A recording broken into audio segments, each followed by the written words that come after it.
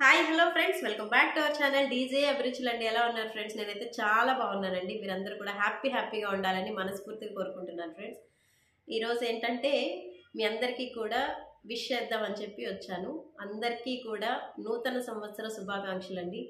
So ఈ ఈ సంవత్సరంలో మనం అనుకున్న పనులన్నీ కూడా ఎలాంటి విఘ్నం లేకుండా వాటిని పూర్తి చేసుకోగలిగే శక్తి సామర్థ్యాలని ఆ భగవంతుడు మనందరికీ కూడా ప్రసాదించాలని మనస్ఫూర్తిగా కోరుకుంటున్నాను ఫ్రెండ్స్. సో ఇవ ఇదనమాట ఇంకేంటంటే చాలామంది రెండు రోజుల్లో ఒక వాళ్ళ లైఫ్లో నిర్ణయాలు అనేవి తీసుకుంటూ ఉంటారు. వాళ్ళ లైఫ్లో ఏదైనా చేంజ్ కావాలి అనుకున్నప్పుడు కొంతమంది బర్త్డే రోజు తీసుకుంటారు కొంతమంది న్యూ ఇయర్ రోజు తీసుకుంటారు అనమాట సో అలా తీసుకోవాలి అనుకున్న వాళ్ళకి నేనైతే కొన్ని ఐడియాస్ చెప్పాలని చెప్పి అనుకుంటున్నాను. సో అవేంటంటే మన లైఫ్లో ఏదైనా రెజల్యూషన్ అనేది మనం స్టార్ట్ చేసుకోవాలి అని అనుకుంటే వాటికి సంబంధించిన ఐడియాస్ అవి ఇంప్లిమెంట్ చేయడానికి ఫస్ట్ అయితే మనం చాలా స్ట్రాంగ్గా ఉండాలండి. అది నేను చేయాలి ఎన్ని అవాంతరాలు వచ్చినా కూడా నేను దాన్ని తప్పక పాటించాలి అనేది మనం ఫస్ట్ మెంటల్గా స్ట్రాంగ్గా ఫిక్స్ అయి ఉండాలన్నమాట. సో ఆ రెజల్యూషన్స్లో నేను నాకు తెలిసినంత వరకు నేను ఒక త్రీ కేటగిరీస్గా దాన్ని డివైడ్ చేసుకోగలిగాను. అవేంటంటే ఫుడ్ హ్యాబిట్స్లో చేంజ్ రావడం. నెక్స్ట్ మన మెంటల్గా మనం కొన్ని కొన్నిసార్లు అనుకోకుండా చేసేస్తూ ఉంటాం కొన్ని పనులు. అది పక్కన వాళ్ళకి ఇబ్బందిగా బాధగా కూడా అనిపిస్తూ ఉంటుంది. సో అలా ఆ మెంటాలిటీని కొంచెం చేంజ్ చేసుకోగలగడం.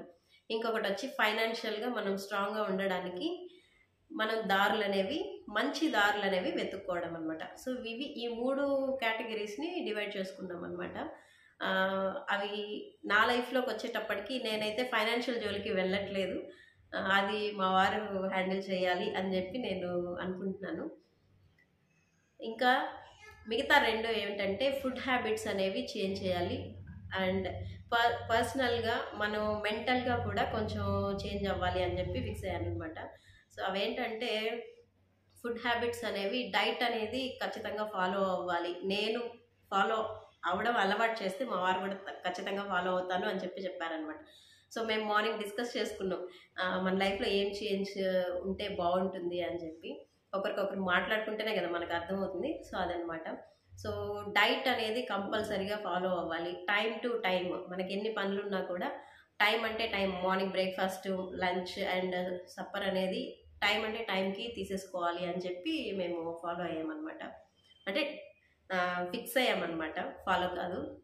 నెక్స్ట్ వచ్చేసి పర్సనల్గా మెంటల్గా మనం ఎలా ఏదైనా అవాంతరం ఏదైనా మనకు బాధ కలిగింది అన్నప్పుడు దాన్ని ఎలా హ్యాండిల్ చేయగలగాలి అనేది మేము డిస్కస్ చేసుకున్నాం అనమాట సో ఆయన ఏం చెప్పారంటే నీకు కొంచెం కోపం ఎక్కువ అని చెప్పి చెప్పారు. నాకు నిజంగానే కొంచెం షార్ట్ టెంపర్ ఉంది. కొంచెం కోపం కూడా ఫాస్ట్గా వచ్చేస్తుంది అనమాట సో అది తగ్గించుకొని కొంచెం పేషెన్స్ లెవెల్స్ అనేవి నేను పెంచుకోవాలని చెప్పి అనుకుంటున్నాను. మీకు వీడియోలో అవి కనిపించాయో లేదో నాకు తెలియదు నా పేషెన్స్ లెవెల్స్. బట్ నార్మల్గా నా పర్సనల్ లైఫ్లో అయితే కొన్ని కొన్నిసార్లు నేను షార్ట్ టెంపర్ వచ్చేస్తూ ఉంటుందన్నమాట. దాన్ని నేను కంట్రోల్ చేసుకోలేను. ఏదైనా అనేసిన తర్వాత లేకపోతే నేను ఏడవడమో లేకపోతే మా వారిని అరవడమో లేకపోతే డిల్లుని అరవడమో చేసేసి తర్వాత వెంటనే దానికి బాధపడిపోతూ ఉంటాను. అయ్యో ఇలా అని ఉండకూడదు కదా అని చెప్పి. నేను నాకు నేను రియలైజ్ అవుతాను.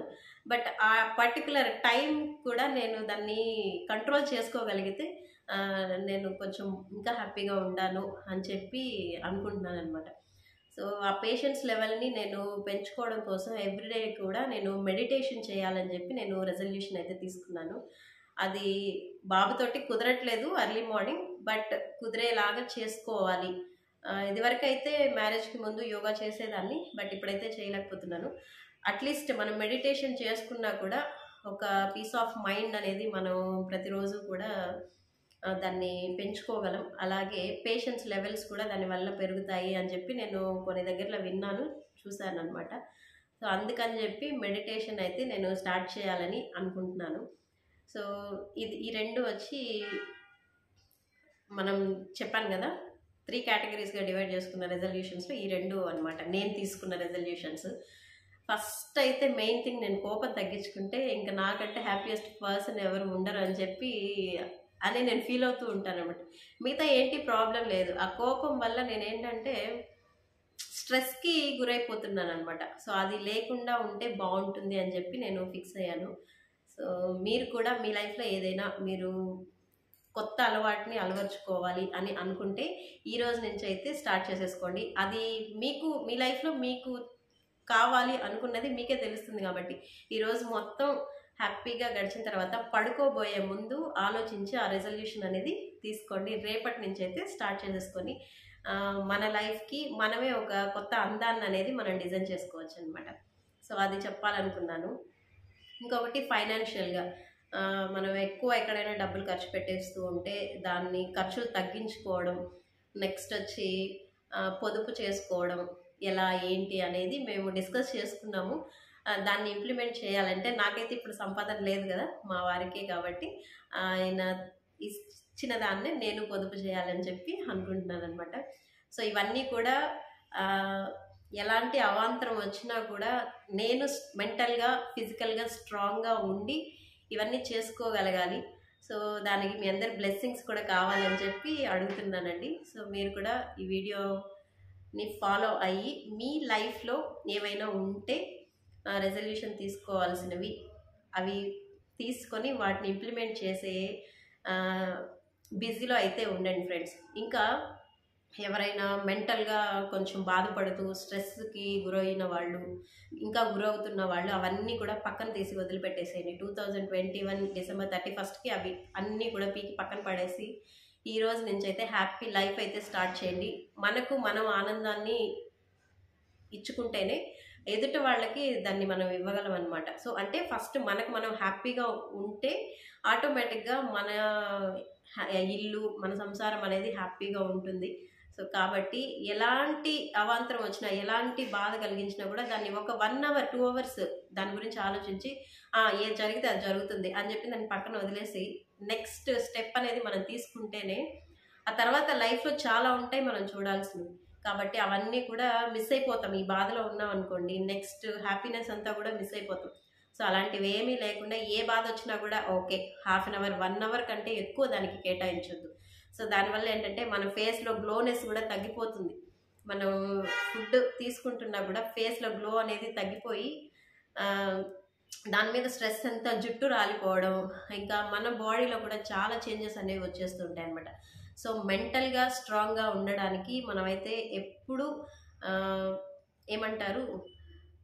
దానికి మెంటల్గా స్ట్రాంగ్గా ఉండడానికి మనమైతే ఎప్పుడు కూడా మనం హ్యాపీగా ఉండాలి. అట్ ద సేమ్ టైం అది నచ్చలేదు ఏదైనా పని దాన్ని వదిలిపెట్టేసేయండి. అంతే. దాని గురించి ఇంకా అస్సలు ఆలోచించొద్దు.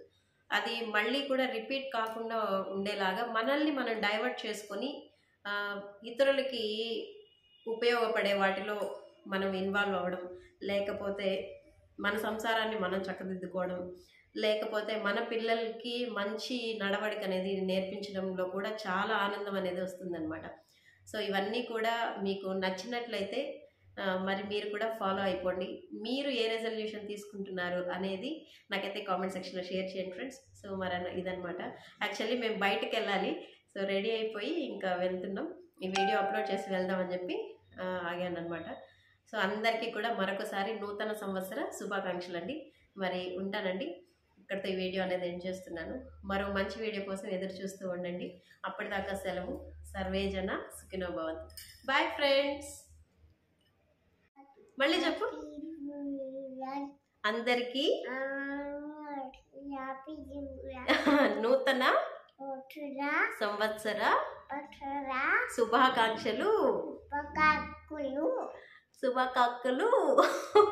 Happy new year to all to all hi bye bye okay